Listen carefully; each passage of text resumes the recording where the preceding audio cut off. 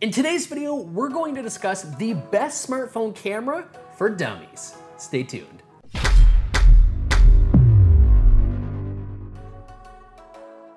What's going on guys? It's QwazyDogg here, and like I said before, today we're gonna be discussing what I think is the best smartphone camera for dummies.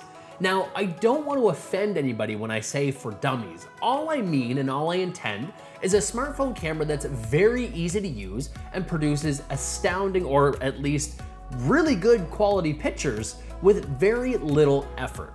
And I think I found that for us today. Now, before I go into exactly what I think is the best camera, I do want to give an honorable mention to the LG G6, the V20, the iPhone 6s, the iPhone 7, and the Huawei P10. One thing that I sort of benefit from when it comes to my 9 to 5 is I have access to all of today's smartphones because I sell them professionally. So I get to play with them on a daily basis. And all of those cameras or all of those phones that I mentioned before have great cameras in them but I don't think they're the best. Now, as an example, for those of you who follow my channel, you'll know that I had a very extensive look at the LG V20. I'll leave it up in the cards above. But with that, I actually used it as my exclusive camera on a family trip to Valcartier, Quebec. Now, it did a good job, and don't get me wrong, it's a great camera, but I found I had to shoot in manual mode to get the full value out of what it offered for an optics, and that's really not for dummies friendly. So fast forward to just last week, I actually just got back from Prince Edward Island, or PEI, it's of course an island in Canada, where I went on another family vacation. And this time I told myself, I'm gonna bring this camera that I'm shooting on right now, my Panasonic Lumix G7.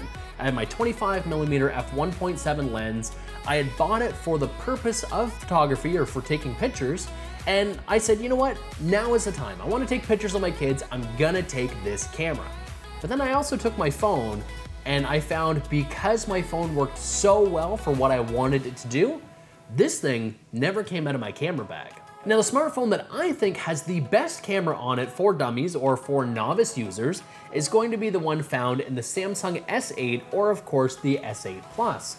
On the back, this shooter has a 12 megapixel dual pixel sensor with an f1.7 aperture and reproduces some stunning photos. Now, the one thing that I liked about it, and this is actually going to extend away from just the camera for a moment, is the fact that the device is also IP68 certified, so dust and water resistant. This means that depending on your environment, for me as an example, with my Lumix G7, I didn't want to take it to the beach, I didn't want to take it into the pool, and I didn't want to take it out when it was raining because I don't want to actually break my one camera that I use for YouTube videos. So that was one reason that, that allowed me to start using the S8. And once I saw the picture quality that came out of that camera with auto settings, with HDR turned on, and then just using auto adjustments within the gallery, it was my exclusive shooter. So let's take a look at a couple example shots here, and we'll see exactly why I love this so much. Now the very first picture we're gonna take a look at is actually the last picture that I took on my vacation. The sun was just peeking out from the clouds. I thought it looked gorgeous, so I honestly just aimed the camera up, took a shot, applied the auto adjustments, and it came out great. So we can see that the sky itself is nice and vibrant blue. We've got a little bit of lens flare, but it's a nice lens flare. It's nothing that's really distracting from the picture. And the dynamic range in the clouds is simply breathtaking. I absolutely love this shot. Now, this next shot is actually one of my most favorite shots I've ever taken as far as a candid portrait, and it's, of course, a portrait of my daughter.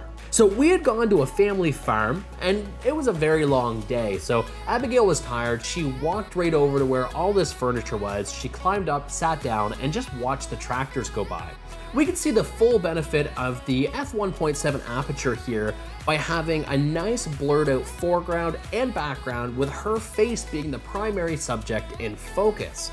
Now, with the HDR, we can see that we have very vibrant colors, but I don't think it's anything that's too overdone. Her cheeks are a little red, but she was out in the sun for a couple days, so that's more true to life color. But this is just a breathtaking photo. I absolutely, absolutely love it. Next is gonna be this creepy barn. And actually, it's really not a creepy barn. It was the barn that all the animals were in when we went on our trip. The nice thing is that I was able to focus on the actual light itself. And what the camera was smart enough to do was adjust the exposure to make sure that the light wasn't completely overblown, but it gave a nice sort of creepy feel and sort of underexposed the rest of the surroundings. You can see the extra glow coming out of those lights as well because of the HDR. So it's taking a few different photos and it's stitching them together to make sure that nothing is uh, underexposed or overexposed. And I really like the artistic feel. I find that the cobwebs in this are extraordinarily sharp as well. And that's something that I directly catch in my, in my attention. It's not the window, it's actually all the detail on those cobwebs. So this is another example photo of my daughter. Uh, we had come home from the beach, she was exhausted, so we just plopped her down on the bed and she went to sleep. Now, the craziest thing is, all the light in this picture is behind her, so this is backlit. We have a window that's gonna be kind of to the middle or a little bit off to the left, and then to the right, we had a lamp that was turned on. But there's really no lights in front of her. I focused on her face, and the craziest thing is because of the HDR and the quality of the image processor both in the camera as well as what they have for the auto tuning is I was able to get a proper exposure on her face. It's not too dark. I don't even find it that noisy, but everything else is in focus and, and not overexposed. It's all I just think it looks it looks great. It's a fantastic photo. This again is another one of my favorites and I don't think any other camera on the market, as far as a smartphone camera, would do this good at a subject that was backlit, something that didn't have direct light directly on the subject's face or forefront when a picture was taken. And the last photo that I want to show is this outdoor photo. So this, again, was in a location called the Garden of Hope in Prince Edward Island. And this is a lily pond. I got down kind of to uh, plant level, just shot a very quick photo. Again, all of these photos are uh, for dummies. They are on auto mode, they are with auto adjustments after the fact, and the clarity that is in this photo, I think, is simply breathtaking. We have a little bit of blur on the left-hand side with a subject that was close to the lens. I actually focused primarily on the pond here, so we've got focus kind of in the middle of the frame, uh, but with the HDR, it did a great job of really livening all of these colors, making sure everything was bright and crisp. We can still see the clouds, which is really great as well. Um, we see a little bit of sheen coming off the water, and then it bumped up that clarity just enough that it gives it that sort of artistic feel without making it look too overproduced. Um, now, some people may not like this look. I really like this look. I find that this is one of the best looks if you're looking to share things on social media because it catches your eye so much. So there are some other images. I shared a few to my Instagram, so I'm gonna link that in the description below if you guys want to see some more photos. But like I said, all of these photos were with auto mode engaged, as well as auto adjustments after the fact in the default Samsung Gallery app. All the photos I think turned out great, and if you're looking to jump into some cell phone photography, there's lots of phones on the market. There's lots of attachments that you can get with third-party lens adapters and lights and things like that.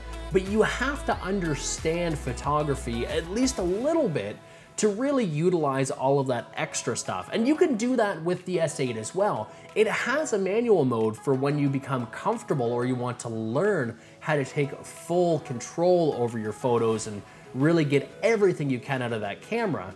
But truthfully, I think that just the auto settings are some of the best I've ever seen on any camera in multiple situations that I've ever used myself. Now, if you guys don't want to shoot in auto and you do want to try some manual and you do want to try some lens adapters and things like that, Peter McKinnon has actually just released in the last few days a really good video that I think you guys should check out. I'll leave it up in the cards above as well as in the description below.